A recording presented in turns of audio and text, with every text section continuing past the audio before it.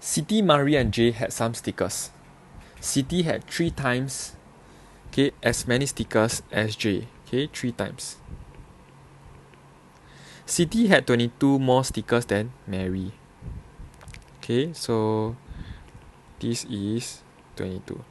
Mary and J all together has 58.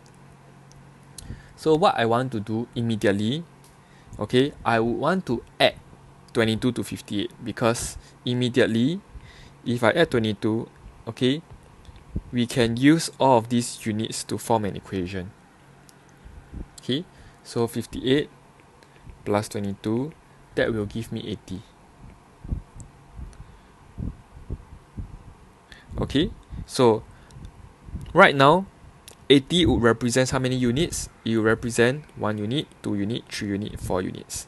So 4 units represents 80 stickers. 1 unit will be 80 divided by 4, which is 20 stickers. So far okay? Okay, so how many stickers does Siti has? Siti has 20 times 3, which is 60 stickers. Okay, that is the answer for this question.